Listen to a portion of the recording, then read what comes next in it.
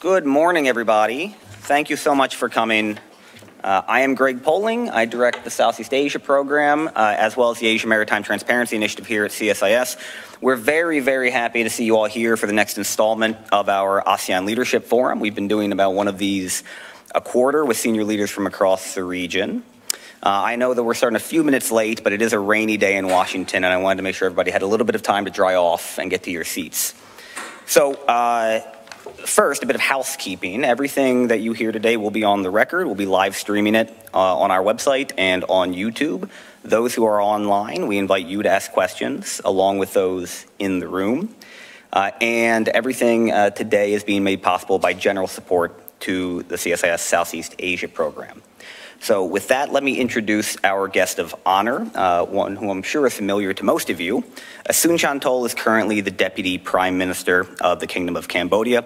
He was previously the Minister of Commerce the last time he spoke here at CSIS uh, in 2014. Uh, he was also the Minister of Public Works and Transport from 2004 to 2008 and from 2016 to 2023. Uh, prior to joining government, he worked in the private sector, including 16 years at General Electric.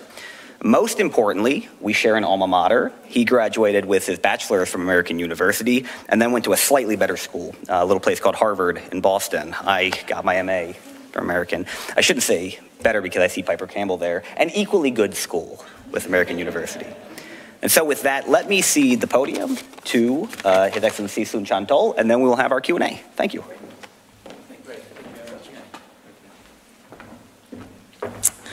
Uh, good morning.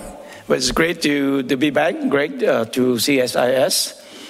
Appreciate very much the opportunity to be here to uh, uh, speak to uh, the, uh, the audience here, and also on the online you know, broadcast.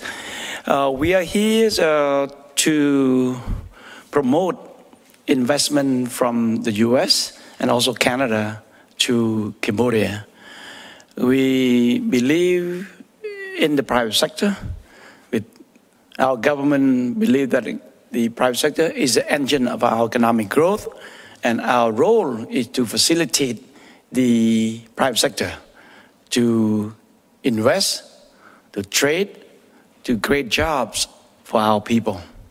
And you might ask, you know, why should we select Cambodia as a place to invest where we have alternatives, you know, bigger market, for example, in Vietnam or to go to Thailand, go to Malaysia, go to Singapore, whatnot, right? But why Cambodia?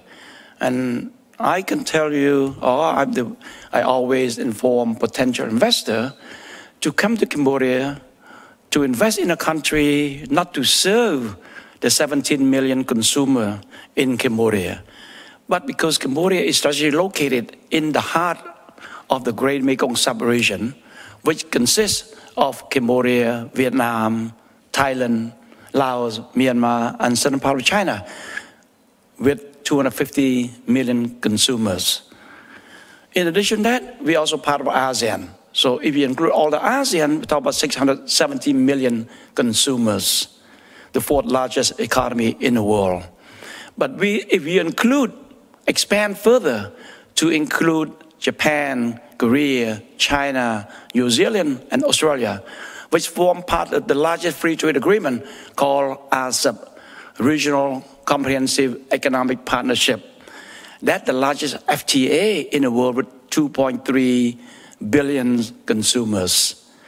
But let's expand further from Cambodia. The market in EU, European Union, few hundred million consumer there. And why we said you know, EU? Cambodia received trade preferences from EU. They grant us what they call EBA.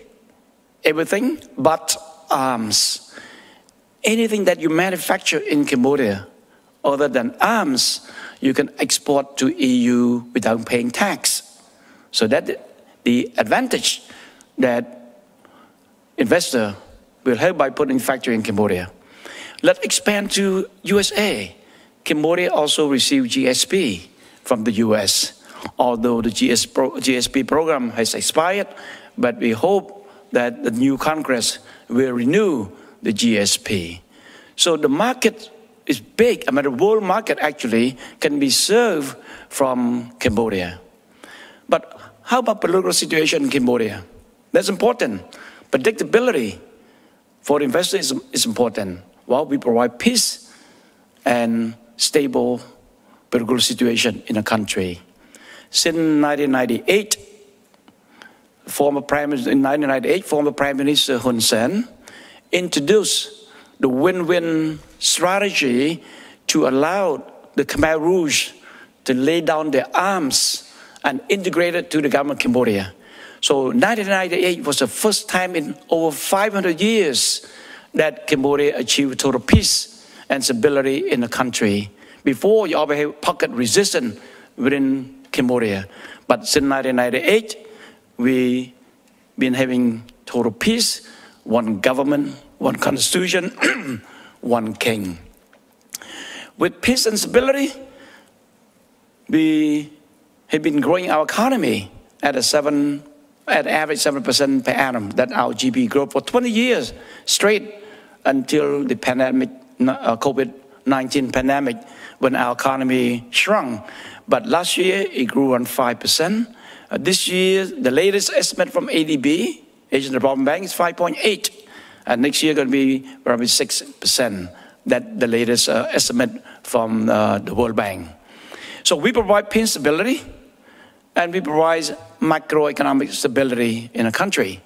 The exchange rate of Cambodia has been stable for the last 20 years, around 4,000 riel to one US dollars. The inflation is stable, around 2.5 uh, percent.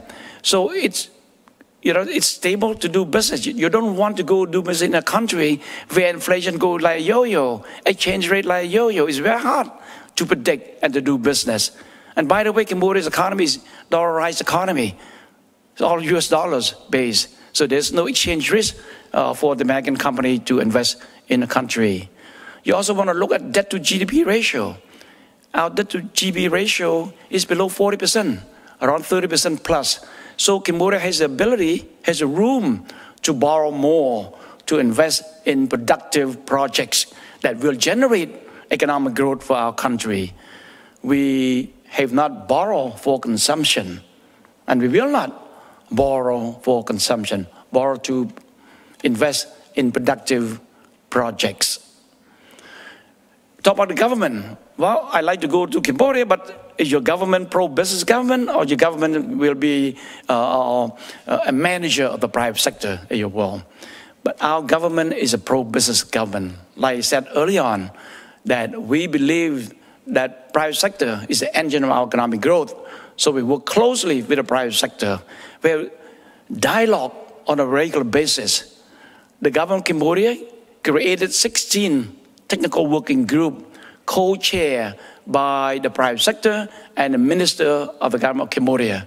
For example, technical working group on banking, on taxation, technical working group on infrastructure, agriculture, tourism, and so on and so forth. And they meet on a reg regular basis to address the issues of the private sector in that particular uh, field. Once a year, our Prime Minister chair what we call government private sector forum, where we invite a thousand plus people in the room, in the room, private sector, diplomatic corps, NGO, and the whole cabinet member. We call expanded cabinet member, uh, expanded cabinet meeting, televised live on our TV, where the private sector can ask questions to the prime minister that this issue that cannot be resolved. So please help us to resolve these issues.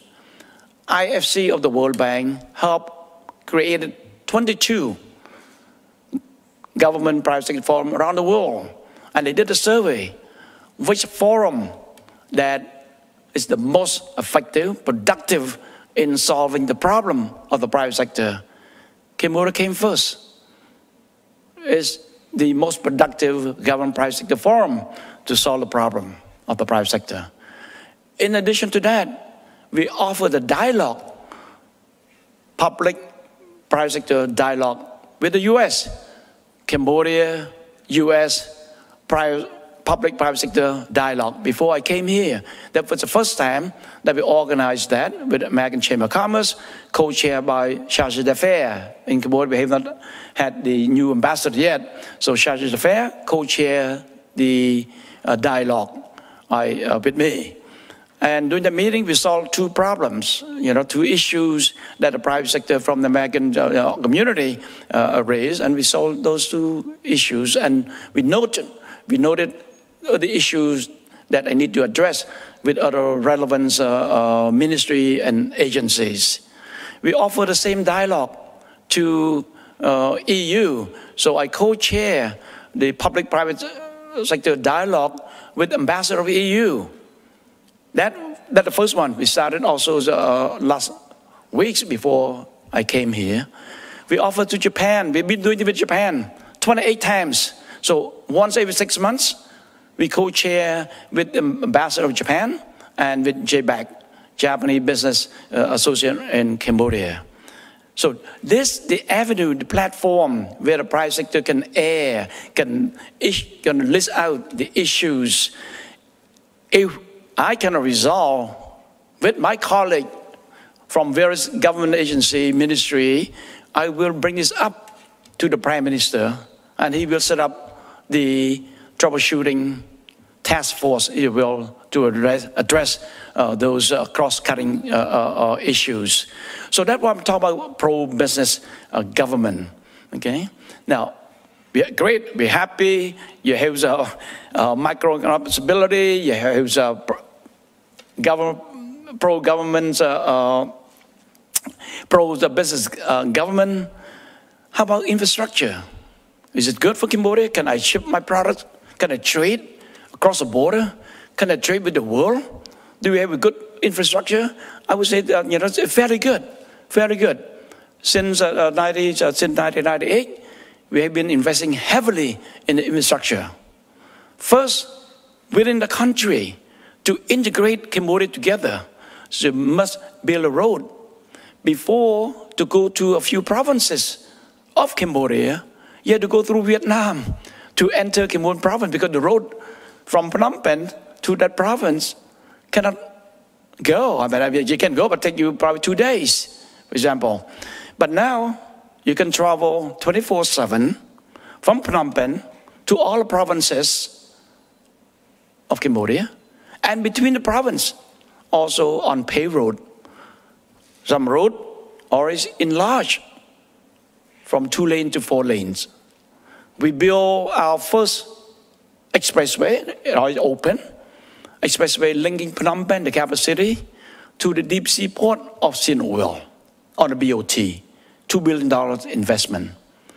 We are currently building the second expressway between Phnom Penh to Ho Chi Minh City, we built to the border of Vietnam, and Vietnam will build from there to Ho Chi Minh City. That should be completed by 2027.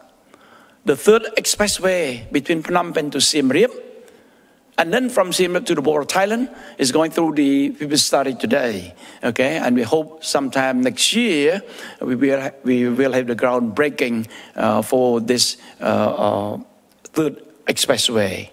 So the road network in Cambodia is fairly good that you can trade with Vietnam, with Thailand, with Laos, and all, also internationally through our seaport, deep seaport in Sihanoukville, or through our Phnom Penh port. Phnom Penh port is shipped through the Mekong River, uh, from Phnom Penh port on the Mekong River, and using the port uh, in Vietnam. Or Sihanoukville port that handles 60% of our trading volume. Now, we are going through the major expansion for Sihanoukville Port. We have 1 billion US dollars to invest in three phases of the expansion. First phase is a new container port with 14.5 meter depth that allows up to 93% of the vessel going through Asia, in Asia Pacific to be able to call on our port. As of today, only 18% because the draft only 9 meters. But by 2026, 93% of the vessel that going around Asia Pacific can call on our port. By 2028, uh, 2026, 93%. 2028, we have the new terminal with 16.5 meter depth So that practically you can ship all over Asia Pacific. 2029, we will complete the third expansion of the new terminal with 17.5 meter depth. So then we can ship direct between Phnom Penh, uh, between Cambodia to the US, to EU, around the world without going through transshipment either in Vietnam, Singapore, Laem Chabang port in Thailand, or Hutchison port in Hong Kong. So that's a major expansion for our uh, port. Our airport, Siem Reap, we opened last year, new airport, new airport outside of uh, uh, Siem Reap City. The reason we moved out, because the old airport was so close, around six kilometers uh, from Angkor Temple. So the noise, vibration, the pollution uh, you know, on, the, uh, uh, on our temples is huge. So we decided, look, we cannot afford the vibrations and all that. So we move out also to, in, you know, to, uh, to build a new airport that can accommodate around 15 million uh, tourists per year. That was open last October. The new airport in Phnom Penh, also we're going to relocate after 60 years or something, we got to relocate from Phnom Penh outside Phnom Penh, and this airport can accommodate up to 50 million uh, tourists, uh, passengers, and that should be open sometime uh, next year, maybe the third quarter of next year. Now we have one project that uh, we had a groundbreaking. You know, there's a presided over by our Prime Minister on August the 5th of this year the project called Funan Techo Canal. And this canal is to link Phnom Penh port directly to our seaport without going through uh, the port in Vietnam. Okay, so that uh, is the distance 180 kilometers. It will reduce the shipping route by 200 kilometers. So we're going to save, we're going to save CO2 emission to the environment. In addition to that, we are pushing to change from the land transport to inland waterway transport. So again, we will you know, reduce the CO2 emission. We will reduce the road accident. If you ship you know, by, by road, you will reduce the damage to our roads. So by shipping all these uh, goods on the Mekong River directly to the sea, so you don't have to go through formality uh, at the border. Obviously, when you cross the border to another country, you must respect the rule regulation uh, of that country, the procedures, customs, and so, so on and so forth. So you know you reduce the lead time. Okay, that's uh, that's important. That's important. And these projects uh, will not have the negative uh, impact on the environment either in Cambodia or cross border in Vietnam because we studied in so detail. I was Minister of Public Transport altogether on 11 years. I never studied a project so detailed like the Funan Techo Canal because we want to ensure there's no impact in both countries. Cambodia will not implement a zero-sum game where Cambodia win, our neighboring country, namely Vietnam, loses. We cannot do that. And also we need to do, according to the Mekong River Commission agreement, that four countries signed in 1995, namely Cambodia, Vietnam, Laos, and Thailand. So we must abide by that agreement. So we had a groundbreaking on August the, uh, the 5th of this year, and this project likely to complete, uh, we have a goal to complete by 2028. So it's a game, game changer project for us to reduce the cost of logistics. So all investors, everyone will benefit. And along this canal, you will see logistics center, warehousing, commercial center, tourism center, and so on and so forth. When I talk about canal 180 kilometers, does that mean that Cambodia will dig 180 kilometers of canal? This canal was used 2,000 years ago 2,000 years ago by the kingdom, the first kingdom of Cambodia called Kingdom Funan, okay, the, or Funan Kingdom. Kingdom, uh, kingdom of Funan uh, dug three canal. One is Okao Canal, another one Vente, and the third one, one the, what I'm talking about right now, the Funan Empire at the time, not kingdom, empire of Funan. But the, the other two, the first two that I mentioned to you, right now is part of Vietnam. It used to be Khmer territory, but right now part of Vietnam. So we don't have access to the sea from that canal dug by the Funan Empire. Funan Empire was very prosperous because of the trading using the Oka port, Oka canal. So this one, like I said, we just enlarge the existing canal. We're going to deepen the canal to allow up to 3,000 ton vessel to be able to, uh, uh, to travel between Phnom Penh and Lao Sea. So that's all it is. We're going to dig probably seven kilometer because near uh, the sea is just zigzag, you know, very small, small canal. So that's all we're going to dig, you know, to straighten up a little bit uh, so that the ship can pass easily there around seven kilometer. This is about canal. Now, while you have good infrastructure, how about the cost of logistics? Well, today I can tell you the cost of logistics in Cambodia is a bit higher than our neighboring country. But what do you do in order to make logistics in Cambodia more competitive? We work with JICA, we work with World Bank to design the master plan. So we had a master plan on logistics for 2023 2033 for 10 years. It's called for investment of 36.6 billion US dollars to implement 174 projects that are identified in the master plan.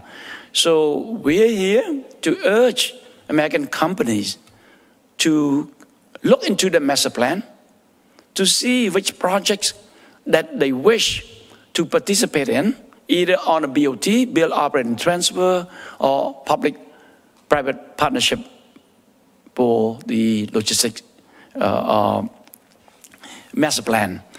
We work with a company in Singapore called YCH to build a first logistics complex in Phnom Penh called Phnom Penh Logistics Complex or YCH, call them a super port. They have one in Vietnam, uh, so they learn you know, they're going to use uh, the best practices in Vietnam, Superport in Vietnam. They're going to build one uh, near Phnom Penh. We are working with IFC of the World Bank to do the FS, the people study, of a second one in Sihanoukville. They're going to be Sihanoukville Logistics Complex. So IFC is our advisor. They're doing the study today, and so hope uh, maybe it's been almost two years now. They should finish uh, fairly soon and then we're going to call for tender for the Sihanoukville logistics complex. So that the logistic. Well, you have all that, how about the labor force in Cambodia? Can you have enough labor force? I can tell you that you know labor force in Cambodia is young, dynamic, willing to be trained, trainable. 60% is under the age of 35. So Cambodia will have productive workforce the next 30 years, if you will. We are the youngest country in ASEAN. If we talk about General Z, we are talk about 60%. You know, the Philippines has 45, right, 45%, but we have 60%. And they speak English. They speak English. In addition to that, the government of Cambodia has a program to train up to 1.5 million youth from the poor families on technical vocational training program. We introduced this program November last year. Up until now, we are trained 57,000 Cambodian youth. They don't have to pay for tuition, but we pay them a small amount, $80 a month to go to school to take this program, and then they're ready to enter the workforce. So that's that that talk about the labor force in Cambodia. How about investment regime? If I invest in Cambodia, what kind of investment regime do we offer?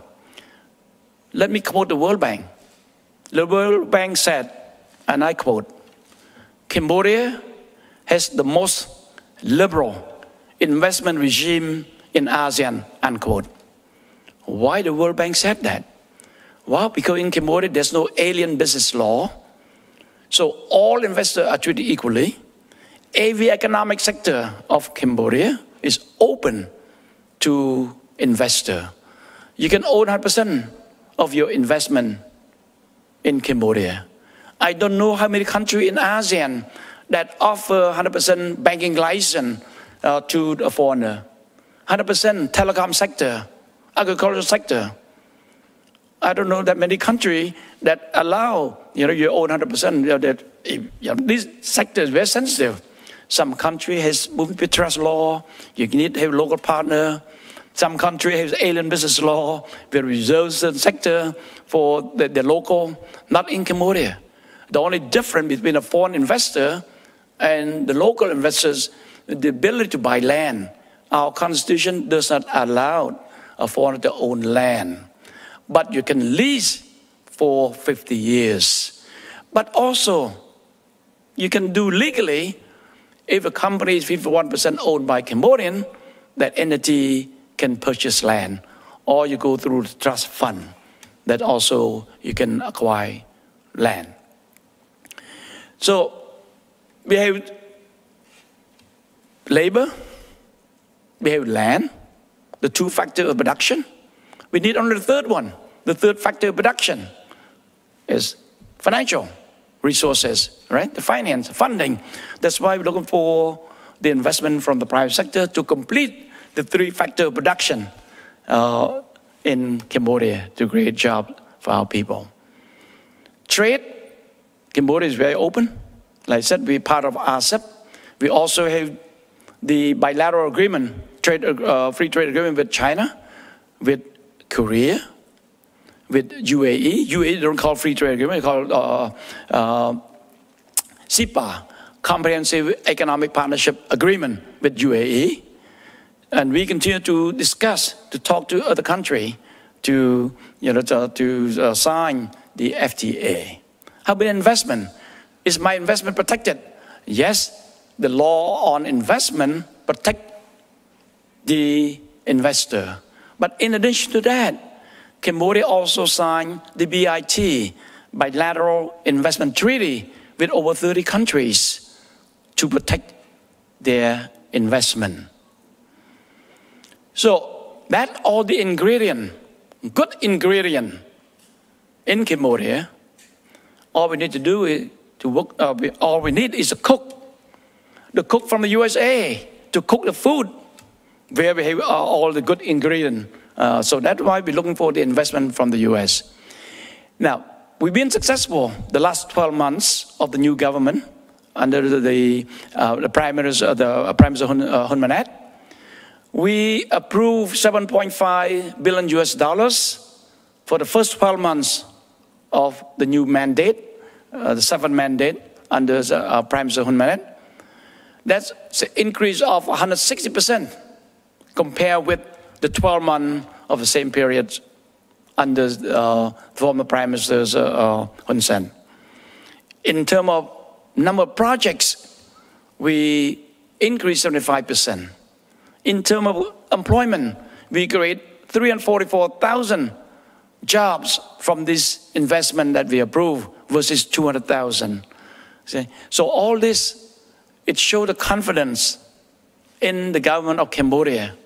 It's a place and also confident that they can be successful of their investment in the country, in the country. But at the same time, we like to diversify our portfolio of investor. Although our investment law does not discriminate against any investor from any country, they all treat equally at exactly the same uh, level playing field in Cambodia. Now, the 7.5 billion that I mentioned to you, 50% come from China. Around 30% is local Cambodian. We have the Association of Ok Nha that's uh, here with us. Ok Nha Association is a, the association of tycoon of Cambodia, and they invest in over, they have 400 members they invest over 800 companies in Cambodia. But we need to attract more FDI from EU and from the US. And that's why we make you know, this roadshow to attract the investment. So I urge the American company to consider Cambodia as a place uh, to invest. And with small, open economy, with the mindset of the private sector, because uh, we believe that private sector, once again, is the engine of our economic growth.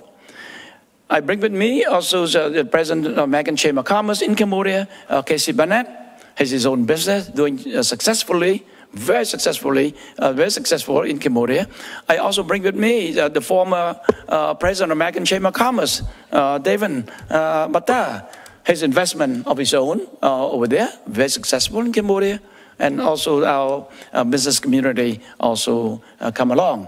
So I'm going to stop here, pause right here, and probably leave some more time, uh, for you to ask a question. But here we are, a small open economy in the heart of the Great, Great Mekong sub-region that can be a place uh, for the, the, American company uh, to invest. Now, let me touch base a little bit. I'm sure some of you probably said, you know, why you always rely on China? Why China? Why China?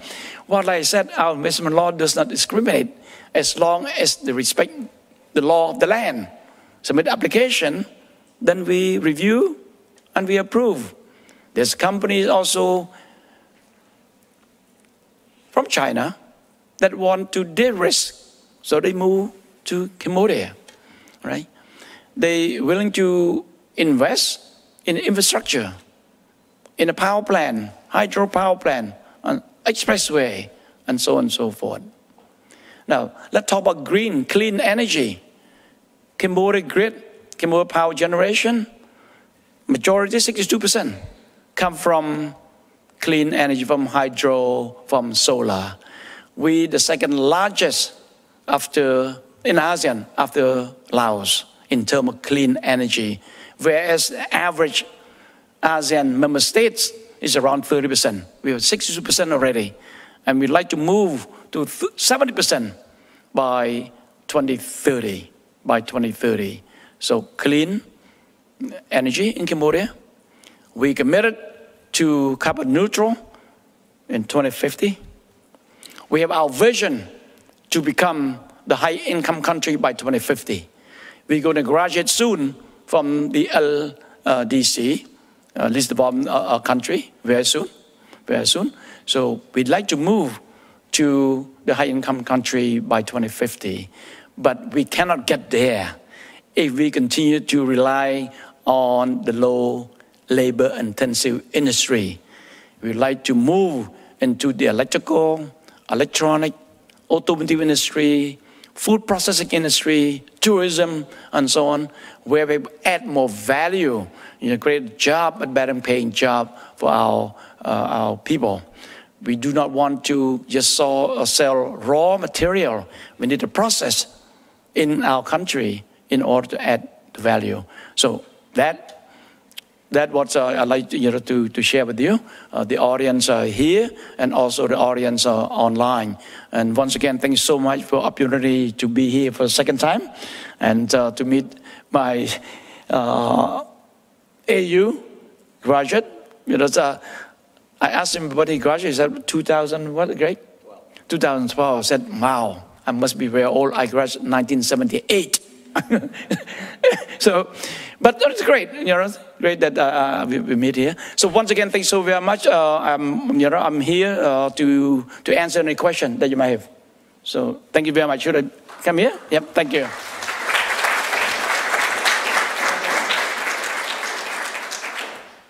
Thank you very much, uh, Mr. Deputy Prime Minister. Uh, so for those in the room, we have a microphone over here if you would like to ask a question. And for those online, you have a little box. You can type it in and I'll be able to see it and, and read. Let me start um, with a couple of, of our own here. So uh, we have an election, you might have heard. It's uh, middle of silly season here in Washington. Whoever takes over as President of the United States in January, uh, what would the Cambodian government like to see to enhance the kind of engagement that you highlighted in your, in your keynote? Well, we will work with any uh, president, uh, you know, any party. It can be Republican, can be President Donald Trump, or President Harris. Uh, for us, well, what choice do we have? We had, we had to work with them. So what we do, just what we want is just to ensure that there's more engagement, not less. We want more investment, not less. We want more dialogue, not less. So we want to be a good partner of the U.S. You know, U.S. is one of the oldest, oldest country, the country that set up the diplomatic relationship with Cambodia. Next year, we celebrate the 75th anniversary of Cambodia-U.S. diplomatic relation. It's amazing. You, U.S. had a relationship with Cambodia 1950, even before, three years before we gained our independence. So we are a good partner, a good friend of the U.S., and we'd like to engage more, we'd like to attract more FDI into the country. Today, we have companies like Coca-Cola, we have Ford, you know, we have uh, part of Tiffany Laurelton cutting diamond in Cambodia. We have uh, you know a lot of fast food chains, Burger King, Carl Jr., Pizza Hut, uh, you name it. We have all in Cambodia, and Cambodians love American products, especially the young one. So I think you know the next administration should engage more with Cambodia and try to promote more trade and investment. Today, U.S. is the largest exporter market for Cambodia. We export to the trade volume between our two countries around 9 billion US dollars. So we like to do more. We like to attract more FDI for American company.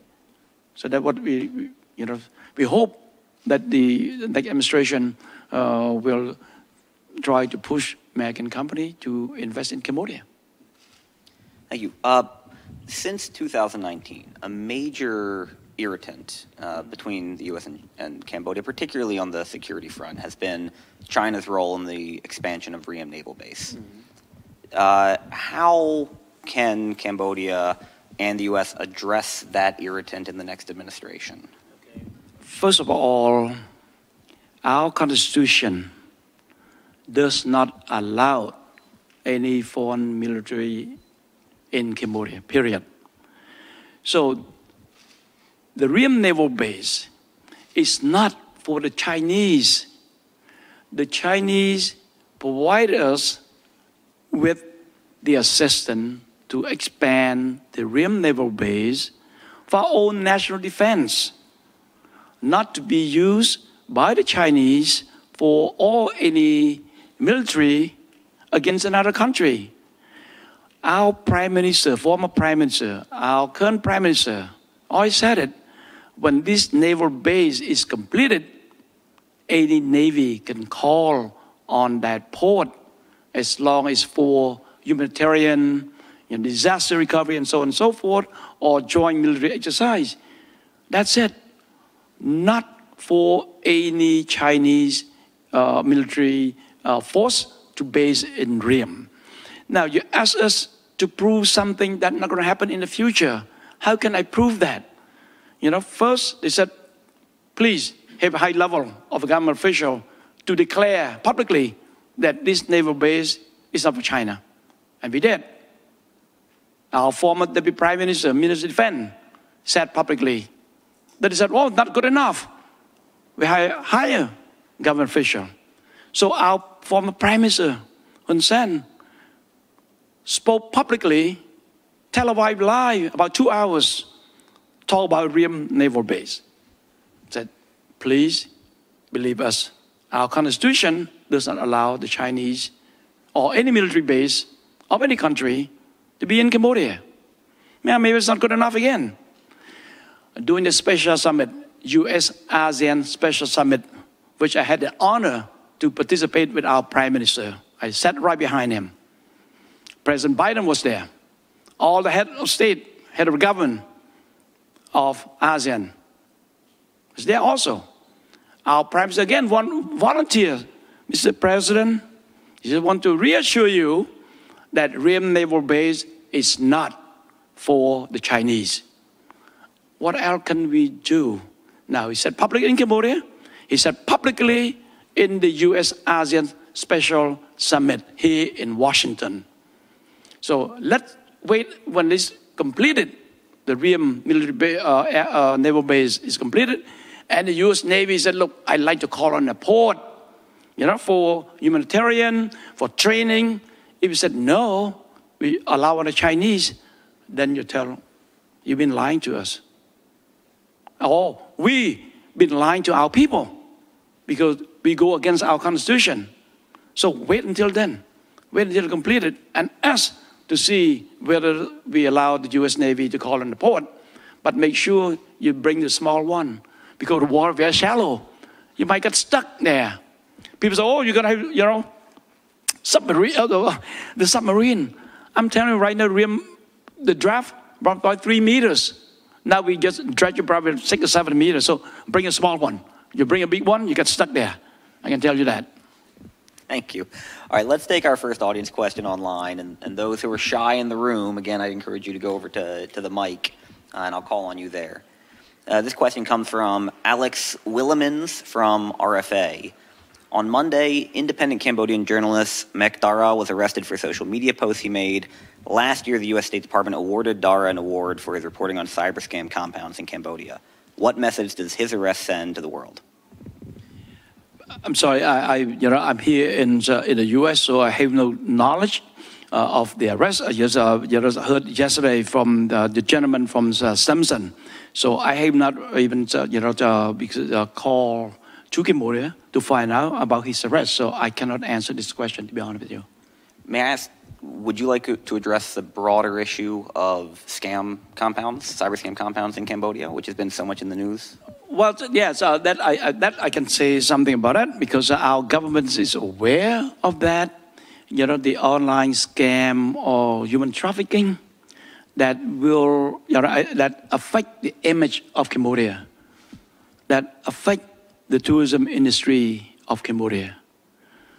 We do not condone or approve that. So we are fighting head on, very hard.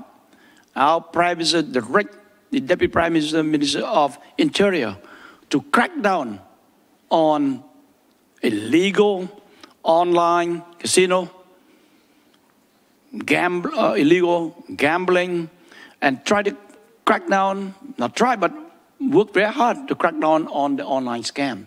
It's affect us so bad as much as affect the whole world. The image of Cambodia is not good. So to attract tourism, tourists to Cambodia, or to attract FDI, people say, oh, I, I, I'm afraid to go, you know. So that we have to work very hard, and we are working hard to, I don't think that we can eliminate 100%, but at least minimize it to the max. So there's, this kind of thing does not exist in our country. So that, that's what we're doing today. But uh, yeah, that's uh, because it's also affect my work, really when I go to promote investment, the people ask me about this same question. Oh, I don't dare to invest in Cambodia because of online scam, human trafficking. It's hurt us economically. So we will not allow this to continue. We're going to fight hard. Thank you. All right, the, uh, the line at the mic is building up, so let's take questions two at a time if that's okay. And remember, two ground rules. One, please identify yourself for the DPM, and two, make sure the question is a question. Please. Thank you so much, Greg, and thank you so much, Excellency Sun Chanthol. I'm Mirat from Radio Free Asia in DC here. So my first question, I have two questions. My first question is, uh, since the start of the new government by the Prime Minister Hun Manet, uh, I was wondering what has Cambodia done to improve the climate uh, investment climate and trade relation with the U.S., given the fact that uh, there are a lot of uh, major concerns from U.S. firm, not just uh, U.S. firm, but also other foreign, uh, uh, foreign company uh, in the world regarding the deep-rooted corruption issue in Cambodia, regarding the violation of labor laws, regarding the suppression against critics as you may remember, uh, former Prime Minister Hun Sen lately disclosed that his government is going to uh, uh, create a new law to exclude those critics overseas uh, and consider them as a terrorist group. Uh, and also, while you are sitting here today, yesterday, your your government just arrested and cracked down on the uh, media, uh, foreign me uh, independent media, Mech Dara, as our colleague asked you already. So I was wondering how uh, all these things you could help to uh, will improve the uh, business climate or investment climate. My question number two is regarding the uh, latest sanction by the uh, U.S. Treasury Department against one of your Oknha, Lee Yong-pat. So I was wondering because the Cambodian government already issued a statement saying that this may affect the uh, uh, the improvement of the relation between the U.S. and Cambodia. So how will you address this? Thank you so much, Excellency. Okay, and if we can hold the next set of questions, please. Uh, thank you, Deputy Prime Minister. My name is McCall Mincer, and I'm here from the Boeing Company. I'd like to ask you about the Boeing Company. Boeing. Boeing. okay. Um, I'd like to ask you about Cambodia's aviation uh, sector, which is experiencing significant growth, especially air travel demand.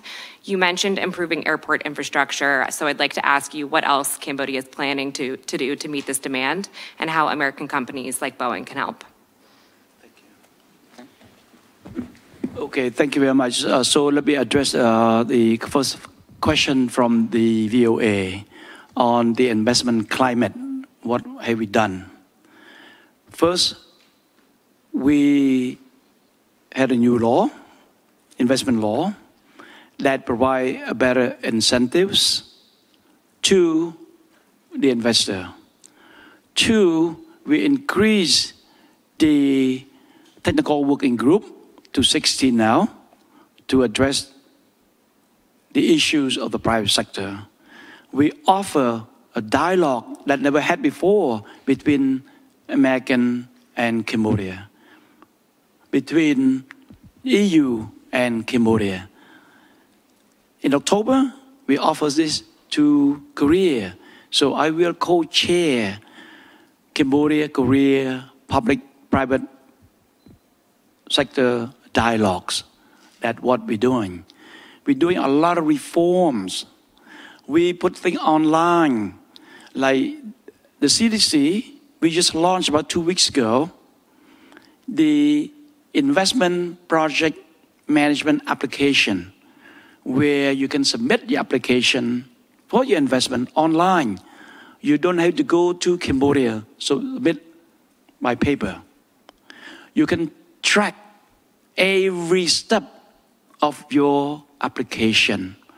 So when you eliminate the physical interface between the private sector and the public sector, you can cut down on corruption issue. And I'm very pleased to tell you that two days ago, in my hotel room, 12, almost midnight, I approve three projects from here. They don't have to wait for me to return back to Cambodia. I uh, you go through online, review everything online. One click, approve, it's done. So this kind of thing that we we work on, you know, to make life easier for investor or people do business in Cambodia. The ease of doing business in Cambodia is improving. The cost of doing business in Cambodia is, is improving. Like I mentioned to you on logistic, the cost of electricity, the clean, green uh, or energy, the special economic zone. We have 26 special economic zone where you put your investment in that zone. I would call clean zone because I have wastewater treatment plant, have communication, infrastructure. We send custom official there, the people from Ministry of Commerce, Labor, CDC, to locate it, to stay at the special economic zone in order to process all the requests for import and export out, out that zone easier. Okay, that's what we've been doing in terms of improve the investment uh, climate. You talk about the, the arrest like I mentioned to you. I, again, I just heard yesterday, I have not talked to any college in Cambodia. But in general, in general, in Cambodia, the freedom of expression is a lot better than other country in the region. I can assure you that. Some country you can say a little thing, you're going to be sued, go to jail. But in Cambodia, curse, you rather inform some outlet the role of the media, the role of a journalist is to inform, not to inflame. Remember that. The role is to inform, not to inflame. The role is to provide information accurately. Radio Free Asia, two days ago, accused the government of Cambodia of removing, taking land from the people that live along the canal. 10,000 households will be displaced and been taken by the government of Cambodia. This kind of information that Radio Free Asia been broadcast into Cambodia. I do not know where you get your 10,000 numbers from. The exact number of the household that will be uh, affected is 2,305. We did the count from the drone. We hired the third party to go to every houses that affected. We have consultation with them. We have not take one square inch of the land yet. So all this resettlement plan has been done by independent companies. The next step will be the team of the Ministry of Economy and Finance will go out there and verify what this private company did to ensure that we will that we compensate our people properly at the market rate. We count a tree, banana tree, coconut tree, mango tree, all together. I can tell you 149,163 trees. Mango tree, coconut tree, name it. We will pay them. We will compensate them. So, Radio Free Asia, please, you have information, ask us. Don't put your finger in your mouth and wind blows strong, oh, 10,000. Not too strong, 5,000. The number of households affected. Ask us. We have nothing to hide. Go to Funan Techo Canal website, Telegram, to get all information from there. We don't hide the information. Let, let, let me finish. Okay? We don't have information. Wait, wait, wait, wait. Let me finish. You can follow up with a question. That, if, that is true information. True information. Okay? Go on website to see it. Okay? If you lack information, please come to us. Okay?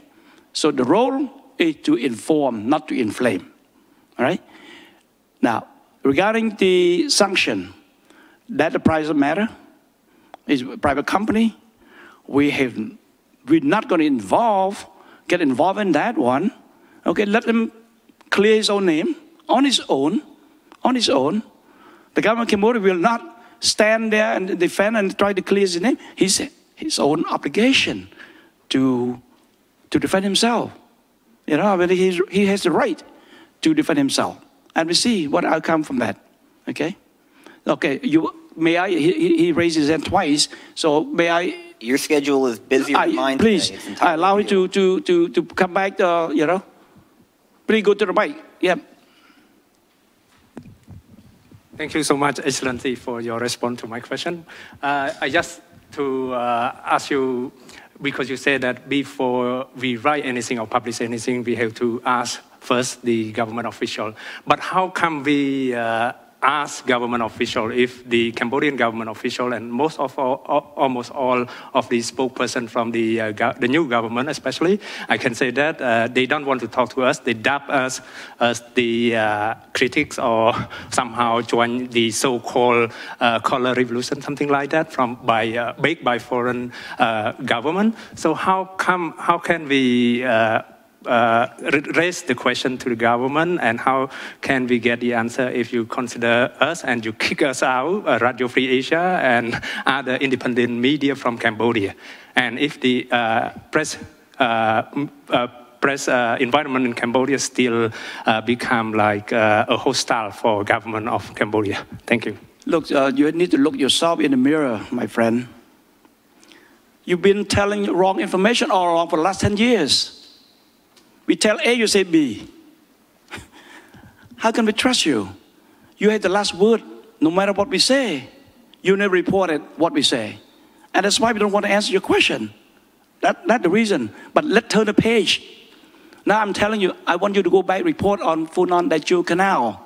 You said, look, I made a mistake, not 10,000, 2,305 houses that will be affected by this project. Please go back and correct your statement. And let's see whether we can work with you or not.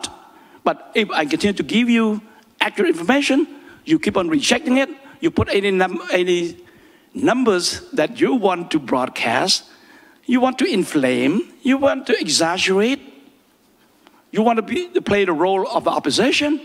Look, you need to be independent. If you're independent, ask me a question. Okay? You send me information that, look, tell me about canal project.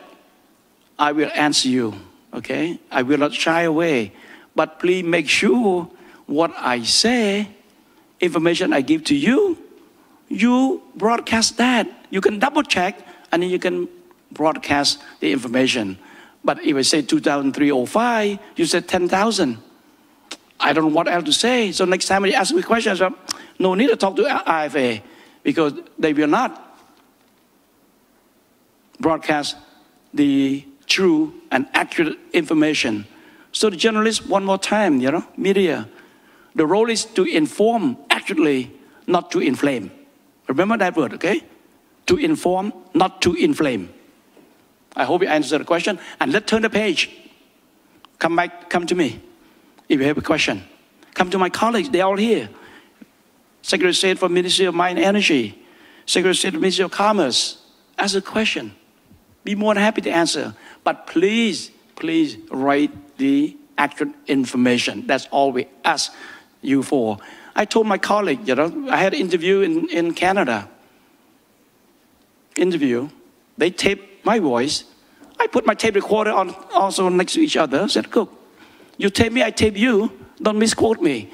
So when you call me, ask for information, I guarantee you I will tape you also. Just in case you say something that I didn't say. I want to tell you ahead of time, okay?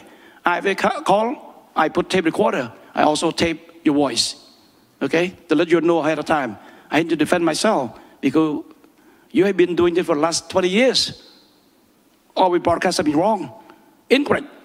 So that's why it got us a little upset, a little upset, okay? But let's turn the page.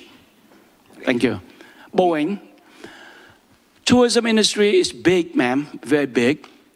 A lot of airlines you have just uh, Air Asia, Cambodia, uh, Angkor Air has been expanding, uh, Cambodia's uh, uh, airways.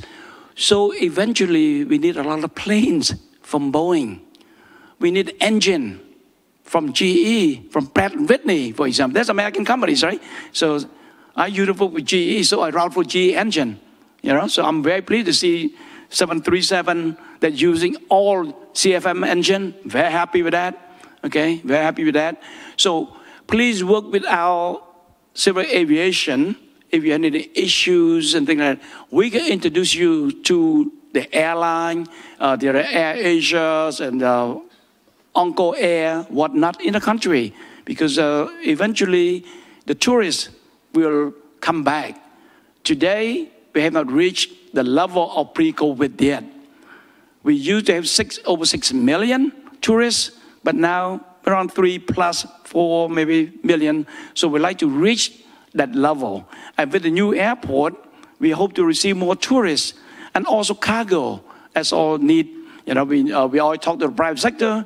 They need to have a good cargo terminal at the new airport so they can ship faster, you know, uh, by, by air. So we welcome Boeing, welcome Boeing you know, uh, to, to, uh, to discuss with the airlines in Cambodia and also with the civil aviation uh, in Cambodia. Let us know when you come to Cambodia. We, you know, put you in touch with the civil aviation. Is that is okay, ma'am? Is that answer your question? You know, I'm, I'm happy with Boeing. You know, because uh, the the former two chairman and CEO of Boeing or HGE, and I know both of them. The last one, Dave Calhoun. Before that, uh, uh, Jim McNerney. I know both of them. So I'm pro Boeing. Okay, so yeah, thank you. Thank you. All right, we are eight minutes over time, and I apologize to my colleagues who have been staying at the mic, but we do have to gavel this closed. Okay. Uh, let me just uh, first thank my colleagues, Lauren Mai, who helped organize this, Jack Mint, not resident with our team, who helped pull it together, and the whole uh, South Asia and, and Avian Broadcasting team. Please join me in thanking the Deputy Prime Minister for his time this morning.